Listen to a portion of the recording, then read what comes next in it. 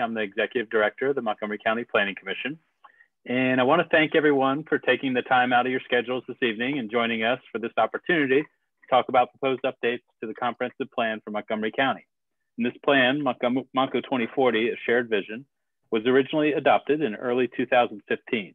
While state law requires that full updates to the comprehensive plans be made every 10 years, we acknowledge the midpoint is a good time to note the changes taking place in the county and to mark our progress since 2015.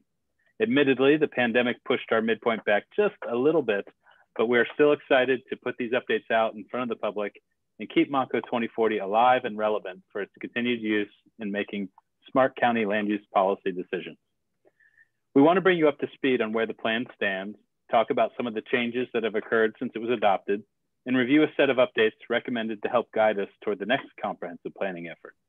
Please note that this is only one step of the process. We've also been coordinating with each of our municipalities to get their feedback on the updates and work together in order to improve consistency between the county's plan and local planning efforts and regulatory updates over the last five years.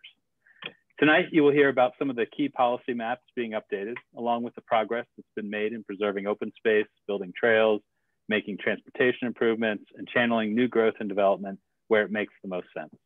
We're also updating some of the text in the plan to highlight programs and policies that have been put in place since the plan's adoption. While we call tonight's proposals a limited update to the plan, you should also know that efforts to fully update the plan for 2025 will begin as soon as next year, believe it or not. And we hope all of you will join us for that important and extensive process. Montco 2050 awaits. But before we go there, uh, we have a special guest with us tonight. And admittedly, our plan could not predict everything that would be coming our way. And of course, I'm talking about the pandemic. But we are extremely fortunate that we had the leadership of our chairwoman of the County Board of Commissioners to help guide us through with a steady resolve, desperately needed transparency, and quick decision making. Please welcome our special guest, Dr. Val Arkoosh. Well, good evening, everybody. And thank you, Scott, for those very kind words. And thank you to our whole Planning Commission team. They have done extraordinary work during this last year. They did not skip a beat. So I'm so grateful to all of you for the work that you've done. And welcome, everybody. We're so glad that you're here tonight. As you know, a comprehensive plan is a long range plan for guiding the growth and physical development of a place. But here in Montgomery County, our comprehensive plan is a living, breathing document that we constantly refer to as we prioritize decisions and plan for the future. The county plan provides an overall land use and growth management framework for local municipal plans and provides guidance on issues that transcend local boundaries, such as highways, public transportation, stormwater management, trails, growth and development trends, shopping needs, impact of large developments, housing needs, natural systems, and economic growth. The themes of the Montco 2040 plan are connected communities, sustainable places, and a vibrant economy. Each of these themes contains goals that address transportation improvements, housing, non-residential development, open space and farmland preservation, job creation and retention, and infrastructure improvements, and so many others. Since adopting this plan in 2015, we have used this plan to guide us toward the addition of 40 miles of trails to the county trail network, complete repairs to 29 county-owned bridges, implement new road diets and traffic calming measures on important local roadways, preserve over 1,500 acres of open space, guide the county's efforts to improve our own sustainability, and initiate sustainability planning efforts in municipalities such as Pottstown, Cheltenham, and Lower Merion, and help municipalities guide new development to places where the infrastructure already exists to support them. Good planning takes a lot of work and commitment and community input. I wanna thank all of you for taking the time to join Planning Commission staff tonight to learn about the new plan updates and provide your comments. Plans are strengthened by the number and diversity of voices that inform them. And your participation helps to keep the goals of Montgomery County residents out in front of our planning efforts. So please speak up. Thank you for being here tonight. And with that, I'll turn it back to Scott. Thank you, Val. And I'm going to turn it over to our uh, section manager for county planning, Ann Leavitt Gruberger. Hi, uh, good evening, everyone. I'm just going to share my screen.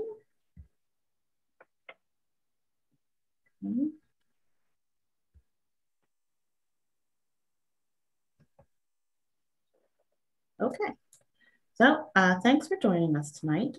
I am going to talk a little bit about our comprehensive plan and the things that we are proposing to update. Uh, Montco 2040, as was just mentioned, is a, our long-range plan adopted in 2015. The County Comprehensive Plan really has three main purposes. It provides an overall framework for growth and preservation in our local municipalities. Uh, and we have municipalities with their own comprehensive plans that are uh, aligned with ours and vice versa. Uh, it addresses issues that transcend local boundaries, as Commissioner Arkoosh just mentioned, and it helps to guide county government actions. Um, uh, Montco 2040 has two major components. Montgomery County today, um, we're not updating this part of it at the moment. This is the element that has an overview of existing conditions, has a lot of data and maps and forecasts in it. Um, we will probably revisit this in some way moving forward, but tonight we are talking about uh, a shared vision. This is the element that has our vision for the county's goals, themes, and recommendations moving forward. I should also mention that we, we kind of take a look at the plan in a small way each year and provide an implementation update for how we have worked to implement the goals of the plan. Um, these implementation updates are posted on our website for anyone who is interested in learning more about um, some of the specific activities that we undertake, uh, not just in the Planning Commission, but really countywide. So the, the plan has three themes, connected communities, sustainable places, and vibrant economy, um, each of which have their own goals, which I'm gonna go into more in a moment. Uh, these themes and goals were really developed after a lot of feedback as we were putting together this plan leading up to 2015. Uh, not only did we have a survey that we reached out to the public extensively with, we had an advisory group made up of area professionals and citizens who, who helped us really shape the, the look and feel of this plan. So I'm going to start with the theme of connected communities. Um, we are, as Scott mentioned, updating maps that are in this plan, but also adding in some information about some of the policies and initiatives that we have been implementing over the last five or so years to, to give people an update on the work that we do. So in connected communities, people want to be connected and part of a broader community. Uh, part of the work that we do is to help these connections occur beyond local municipal boundaries. Uh, the goals of this Connected Communities theme are to encourage collaboration and partnerships among governments, businesses, institutions, and other groups, to improve transportation quality and expand options for county residents and workers, to expand and connect county trails to local trails, greenways, natural areas, and parks, and to support strong downtowns and community destinations to, um, to edit this section of community of connected communities. Uh, we have a lot of, of really exciting work that we are doing here at the Planning Commission. We work very closely with PennDOT in their PennDOT Connects program uh, that helps local communities achieve some of their planning goals as PennDOT carries out their own work and mission. And we've done a lot of work to implement walkability and bikeability in the county. We have a walkability plan called Walk Montco and have since taken on a lot of safe routes to school projects. We have a bike plan called Bike Montco. Um, and out of that have come um, bike tourism routes that we have put into place with the help of um, the local tourism bureau. We also have a low stress streets app to help people get out on, on their bikes and bicycling around the county in a safe way. We recently completed a trail access, diversity, and awareness study. And perhaps um, most visibly, we have a Montco 2040 grant program where we have been um, helping municipalities put their own local projects into place that align with the, the goals of this plan. Moving on to sustainable places. counties, neighborhoods and communities need to be sustained and enhanced in a long-lasting and effective way. The goals of sustainable places include supporting a modern, resilient, green, and energy efficient infrastructure network uh, to improve stormwater management and reduce the impact of flooding. Um, you'll see here on the right, um, this is from Norristown. Uh, a heavy rainstorm or two uh, and some saturated soils leads to a lot of low-lying areas here under the uh, SEPTA regional rail line um, to, to flood. Um, this is a real threat and, and hazard that we face on a regular basis. We are working to conserve natural resources, environmentally sensitive areas and farmland. We are providing more opportunities for residents to exercise and have healthy lifestyles. Uh, we support housing choices and opportunities to meet the needs of all people. And we are enhancing community character and protecting neighborhoods. Um, to edit Montco 2040, the Sustainable Places section, um, again, we have lots of projects to report uh, our progress on. Uh, the, the county has been very busy, uh, as was already mentioned, updating bridges that the county owns. We own a lot of roads and bridges in the county, um, many of which need uh, a little bit of help to be safe moving forward. We, we also put into place a complete streets policy that we will add to the plan. Um, we're updating the sewer and water maps, which we will get to in a little bit. We have an ongoing hazardous waste collection program, a, a successful and busy one at that, that operated even last year through the pandemic. Um, we'll add information about the potential for a hydroelectric facility on the Norristown Dam, information on uh, flooding education and heat island impacts. Uh, we've recently started a return on the environment study, and we'll have more information about uh, things like our 10,000 acres of preserved farmland, our successful Montgomery Awards, and an upcoming hazard mitigation plan update. Uh, next, vibrant economy. Um, this one's pretty straightforward. With a strong economy, residents can earn and spend more, governments can make needed infrastructure improvements, and businesses can grow. Um, the goals in vibrant economy are to improve transportation access to businesses, to encourage development and transformative investment, where infrastructure already exists to, to attract and uh, retain businesses and vital community assets, to flexibly adapt to changing market conditions and demographics, and to facilitate the marketing of the county and its assets. So to edit the vibrant economy section, we're proposing a couple of updates. Um, we have undertaken a lot of major transportation projects, or at least have status updates on major transportation projects that have really moved forward significantly over the last five years. These may have existed uh, as ideas or uh, plans, but for example, the Ridge Pike Corridor Reconstruction Project and the KOP Rail Project have made significant progress, and the county has completed its portion of the Lafayette Street corridor improvements. Uh, Last year, as, as Scott mentioned, we um, were very busy through the pandemic and pivoted to react to some of the needs that came up locally. The Commerce Department, for example, provided several COVID-19 grant programs to, to assist uh, restaurants and municipalities and, and other businesses with uh, emerging needs. The Planning Commission also responded with Restart Montco, um, a guide that's online to help municipalities pivot and, and take on new ways of attracting people to downtowns and promoting open spaces and ways to get out and, and exercise and recreate while, while home last year. Moving on to proposed map updates. Um, this is a big part of our update to the plan, although the changes might appear somewhat minor, and to some extent they are, but this is a big process for us. Um, these maps were reviewed by Planning Commission staff and were also circulated to our, our 62 municipalities for their input as well. Uh, the maps have also been sent to adjacent municipalities, as well as school districts within and adjacent to the county. These maps were also sent to adjacent county planning commissions for their input as well. So we'll start with the growth and preservation plan. this is a, a map that reflects our current land use. Um, and we start really by updating the underlying layers here. The things that we are most sure about are preserved open spaces.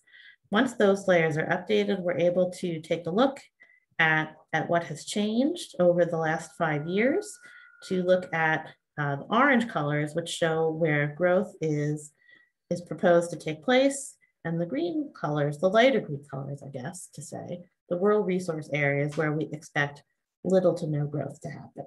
Um, so the rural resource areas are areas where we expect to see no more than 5% of growth take place. And in 2019, which was the last year we have uh, updated information for, we're a little off that mark. We had 7% of our residential development, but no non-residential development take place. Uh, we're usually pretty close to hitting that 5% goal.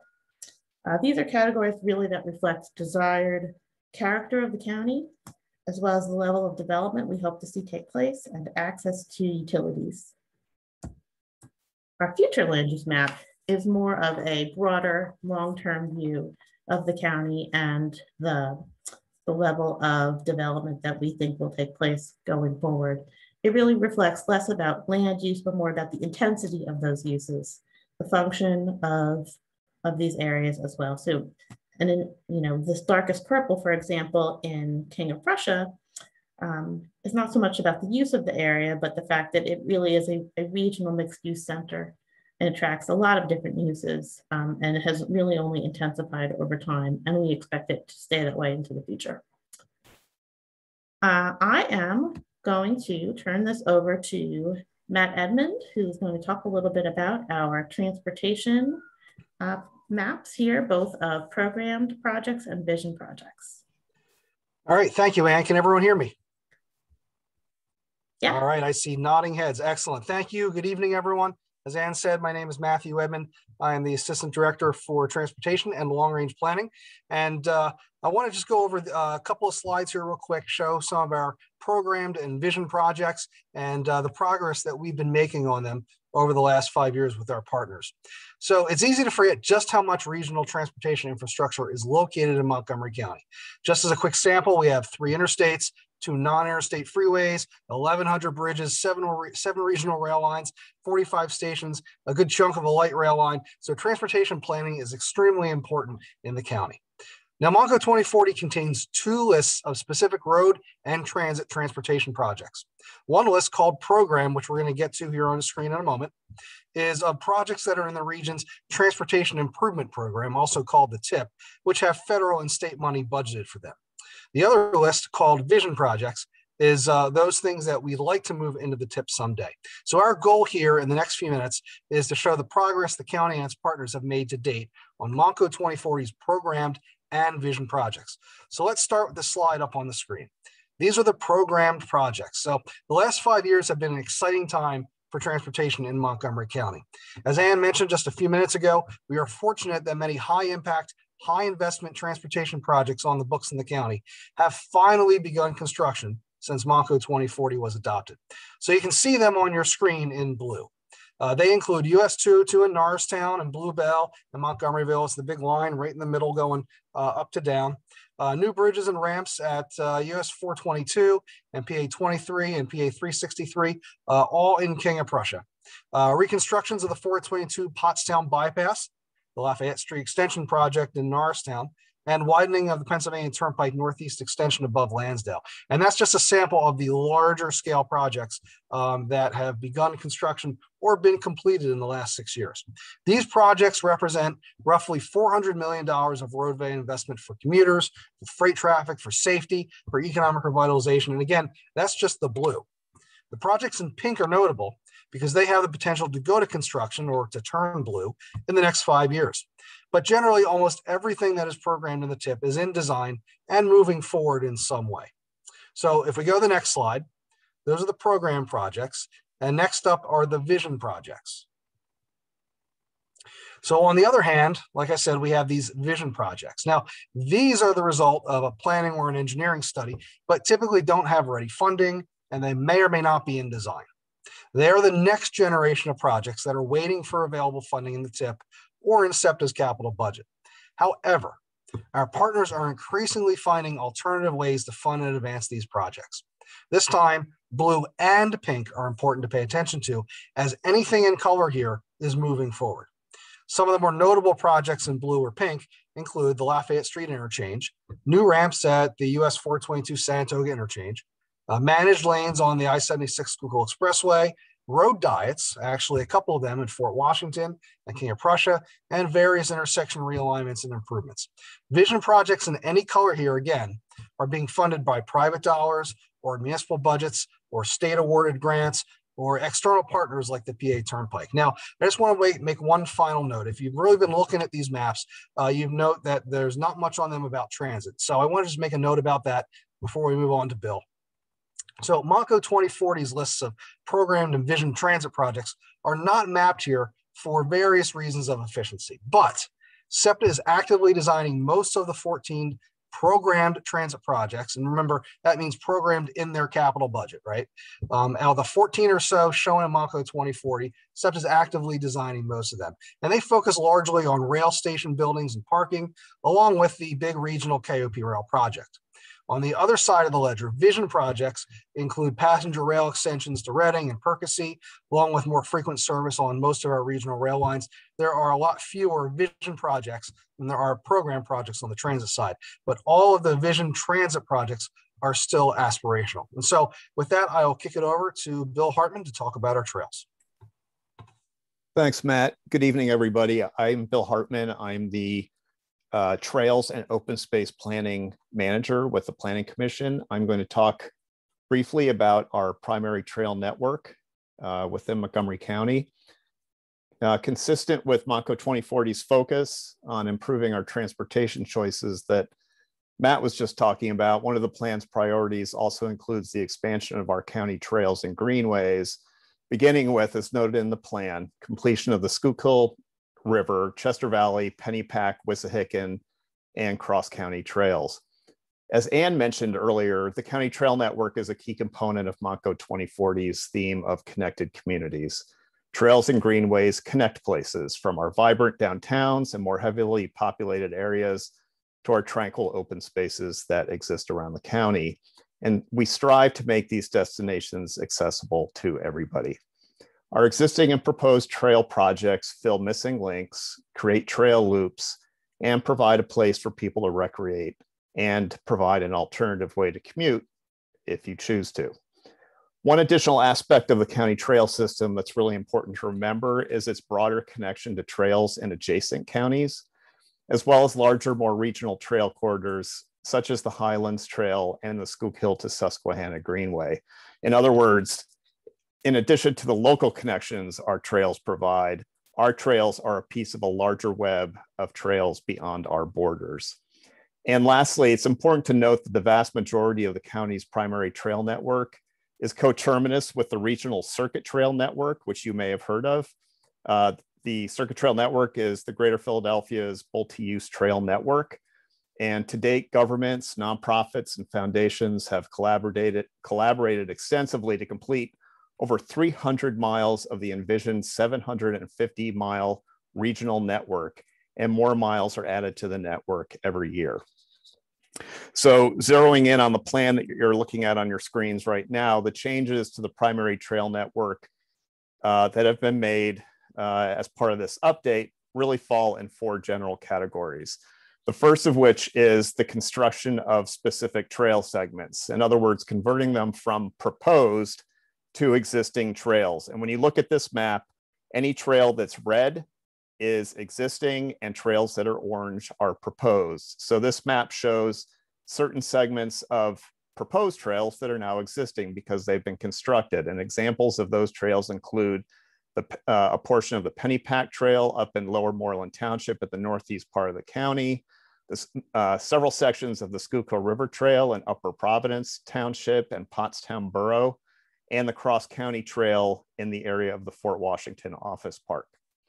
The second category of change on the primary trail network is the addition of trails to uh, this map. In other words, uh, trails that have been added since 2015. And an example of that is the North Gulf Road Trail, which is located down in Upper Merion Township. Uh, if you look at this, it's thanks, Anne, just to the right of Valley Forge National Park. This proposed trail would connect the existing portion of the Chester Valley Trail next to the numeral one over to the Schuylkill River Trail in Valley Forge uh, National Historic Park. The third category of changes are that we made to this, this plan as part of the update were adjustments to proposed alignments. These adjustments are based more on a, on a refinement and a better understanding of where trails are likely to travel. Um, these adjustments usually come from, uh, are the result of uh, advanced feasibility studies and advanced feasibility studies that we perform on proposed trails. So we may have a trail on here that's proposed, but after studying a little bit further, we realize that the alignment uh, is better uh, located in a, in a different spot. And so we made a few adjustments to the plan uh, in that way. And an example of that is uh, an adjustment that we made to the power line trail and an adjustment that we made to the cross county trail uh, in Upper Dublin Township. And then lastly, uh, the final category of change on this plan is just general uh, corrections. Um, sometimes there are errors on maps, and uh, as we study them, we realize that we need to adjust those. Thankfully, there weren't very many of those. There were just um, a couple, but uh, sometimes, and in a specific case, one trail was shown as an existing trail when it's actually a proposed trail. So we made a few tweaks uh, in that way as well. So those are the four major categories of changes to the primary trail network. And uh, uh, I'm happy to answer any questions later on, but that's uh, that wraps up my presentation. I'm going to turn it over to Drew Shaw, who is the head of our environmental planning section. Well, good evening, everybody. As you heard, I'm Drew Shaw, the environmental planning section manager, and I want to talk to you about uh, something near and dear to my heart, uh, sewer and water facilities uh, provision. you heard Ann mention the theme of sustainable places in our plan. And one of the goals under Sustainable Places is to support a modern, resilient, green, and energy efficient infrastructure network. And sewer and water systems are part of infrastructure. Pardon me. Well maintained, well maintained sewer, water, and stormwater systems protect the health and safety of county residents and help preserve environmental resources. These components of infrastructure are essential for keeping pollutants out of our streams and providing water and sewer concurrently to help preserve groundwater resources. And beyond those environmental uh, benefits, they provide a foundation for economic development. By planning for the provision of water and sewer service, we can encourage and guide development to areas where it makes sense and away from rural resource areas where preservation, open space, and low density development uh, is, prefer- is preferred higher density residential development and office, commercial, industrial development is appropriate in areas in the county and it supports our economy. You don't always think about it, but those types of development rely on public water and sewer systems. So it is important to maintain accurate maps where sewer and water service is currently available. And you can see this map that Ann put up of our existing and future sewer service areas. Uh, just very quickly, the, the um, kind of coral color is existing sewer service area and the pink is a future service area. And, and if you want to just bump to the water map. The water map is similar. Uh, we have a light blue area for existing water service and a dark blue area for future water service. And the lines maps uh, were service areas provided by the sewer authorities, municipalities, and water companies get digitized and compared to our growth map, the growth and preservation uh, plan map, the future land use plan map uh, that Ann mentioned. And where development that could require public water and sewer service is anticipated and appropriate, those areas are identified and are added to the sewer and water service area maps. And lastly, we compare our maps with municipal and regional comprehensive plans before uh, finalizing those maps so that we try to get as much consistency as possible with all levels of planning. And these maps represent our policy for water and sewer service provision, and we use them internally during land development project reviews. Uh, they're also used by uh, developers uh, and the municipalities as they plan uh, for their future. Uh, I could go on, but I'm going to turn it over to uh, Ann to wrap up. Anne, you're muted. I do that way too often. Um, that that is all we have really to tell you about tonight in terms of what we're anticipating that we'll be updating in this plan. Um, we are on schedule, I believe, to have the commissioners adopt these proposed changes at their July 15th uh, commissioners meeting. But before that, if you have comments that you would like to let us know about, you can comment online at the website that's below, www.montcopa.org slash Montco 2040 updates. Um, I'm also happy to speak with anyone uh, outside of this meeting to, to address any concerns that you might have about what we're proposing tonight. Um, but with that, I think I will open this up to any questions that people may have. I'm just curious, Anne, or whoever wants to answer this, how successful was your municipal outreach program with the maps that you sent out for everyone to comment on? Did you get a lot of good reactions and comments? Um, my colleague Dan was the one who handled most of those updates, and maybe he he can address this. But um, I think that we we did things a little differently this time around, and you know, especially since people are are still working remotely to some extent, we asked people to look at our maps online. Um, and to, to put their comments in that way rather than squinting at paper-based maps that we had to mail out to people. But I think we got a lot of good feedback uh, on, on the maps that we circulated. And and it's a I think it's a very good way of of getting insight into things that we may just not be aware of. And I have to say, Dan was very flexible for those of us that were being stubborn and wanted to use paper maps. He was very agreeable to supply them.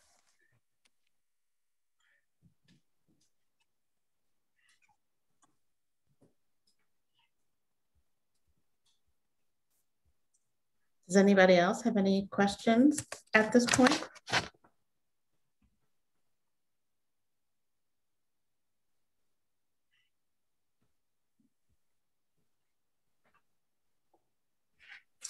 Well, um,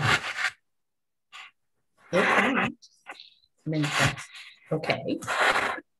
Um, but I, I, will reiterate if anyone needs to reach out to, to ask questions about this content later on, um, my, my email address is A-L-E-A, V as in Victor, I-T-T, at montcopa.org. Uh, you can also contact the Planning Commission at 610-278-3722. Um, and I'm happy to answer questions that people may have going forward on this. And this is Dulcie. I've I've one question on sewering for Drew. Oh, oh. go ahead. My favorite, you know. Um, Drew, when we have an area that is designated for future water, as I saw some areas in Western Montgomery County, is is the intention that the municipalities will respond to hooking up people to public water? Because the issue of wells out here in the diabase certainly versus public water is is a question that would be pretty fractious. Yes, uh, you're absolutely right, Dulcie. Um, at, at, the same time, uh, we want to make sure that those existing individual wells are protected uh, as other development occurs that might be using uh, water uh, supply. So certainly when we have um, the, the let me put it this way. The water service areas that we show there we anticipate rather than uh, using groundwater will tie into public uh, water companies systems. Uh, and, and therefore they won't be drawing up groundwater. Uh, and if they were connected to public sewers that would mean the, pub- the groundwater after it was used would be sent uh, possibly miles away to a treatment plant and then discharged into a stream. So you're not getting any groundwater recharge so the idea for those service areas, those proposed service areas, are to protect the groundwater resource and to encourage the provision of uh, public water supply and extension of public uh, water systems when development is proposed. Uh, it's not necessarily an indication that you know we want we're going to be knocking on your door and saying you need to connect your public your private well to a public system. you know, but a lot of these areas are, are also um, contiguous or overlapping with our conservation resource areas. That's right. There's very little, there, the development there sometimes has been limited due to the inability or the, the, um, the extreme measures you have to go to to get uh, sewering and, and water. So That's it- certainly, yeah. The, the cost of, of blasting, say, for example, to, to provide uh, lines to an area through a diabase region is, is extremely uh, high, and, and, and uh, that can preclude uh, development. We just want to make sure that when development does occur, uh, you know, the provision of water and sewer occur in a logical way. Uh, we recommend concurrently so that existing resources, existing users are, are, are preserved. Thank you. And I just want to um, remind folks that in the program, um, once they get a chance to look at the maps, maybe online, we do have information on all of the speakers to be contacted if you're looking at a specific map and have any questions.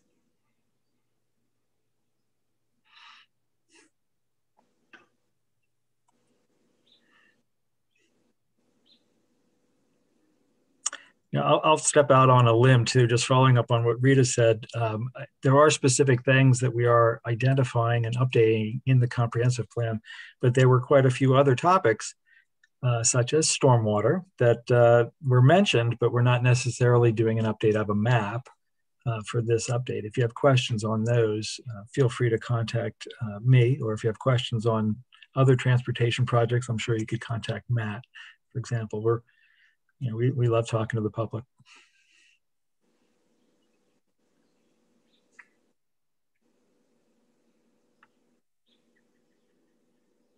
Um, for those of you not uh, looking at the chat, uh, Scott's been posting some good information there and urges you all to join us on June 30th for our next Planning Smarter event, which I think is going to be a good one, really on emerging challenges in our communities. We'll have short presentations on a variety of topics, and I encourage you to, to check it out. It'll be on Zoom, um, so you can, you can watch from the comfort of your own home. Um, And Ann, did you cover uh, just the rest of the process for the comp plan update? Uh, we're currently you know, accepting comments and there'll be a public hearing on uh, anticipated for July 15th at the Board of Commissioners meeting. Is that correct? Yes, I did mention that. Um, Okay. Ah, as predicted, my cat wants to be a part of the There's your show. cat. Or failed. Um, well, Scott, maybe I will turn it back over to you to say uh, a final few words. I'll very few final words. Thank you everyone for coming out. Um, I, I guess uh, you know if, if anything occurs to you, uh, feel free again take the time to, to send us any any comments uh, over the next two months. We'll be uh, grateful to listen to them. And like I said, keep staying tuned. Uh, you know we'll be uh, uh, embarking on our next conference plan effort uh, in 2022, which is very close, um, and uh, looking forward to that. Uh, it's an exciting time. So thanks again for coming out tonight. We really appreciate everyone uh, joining us. Thanks, everyone. Thank you. Good night. Thank you. Everyone. All right. Good job.